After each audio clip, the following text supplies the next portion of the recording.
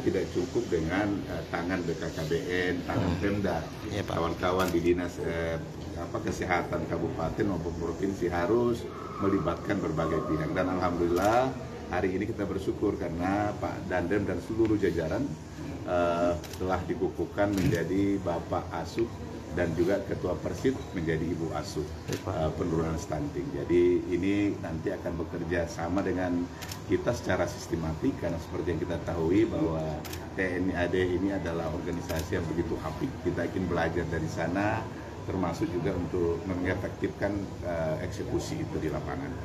Saya kira itu kuncinya dan eh, kita tentu menyampaikan apresiasi yang luar biasa kepada Pak Dandem. Target Provinsi Sulbar sendiri Pak seperti apa nanti di tahun 2022 untuk Ya, stunting ini? Kalau secara keseluruhan kan kita ingin keluar dari peringkat dua nasional itu. Ya Pak.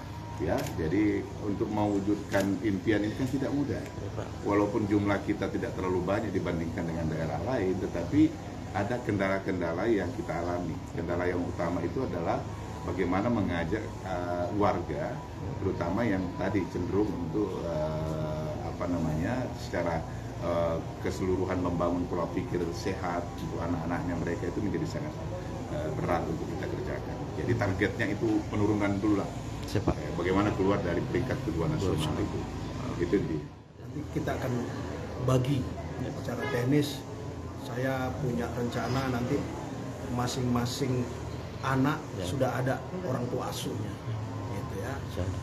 Orang. Ya. Nah, nanti secara tiap bulan kita akan cek perkembangannya.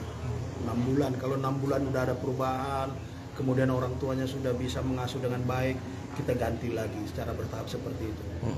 Gitu kan, dengan penekanan ke kodim dan program ke bawah? sama.